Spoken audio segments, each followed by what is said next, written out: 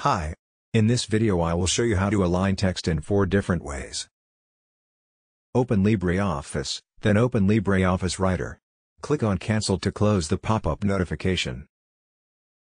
We will align the text in four paragraphs in four different ways. Click somewhere into the first paragraph, then click on the icon with the same number as the arrow. The text in the first paragraph will be left aligned. Apply the same procedure in the second paragraph. It will be center aligned. The same with the third paragraph. It will be right aligned. And the same again with the fourth paragraph. It will be justified. Now have a look at the result. Thanks for watching.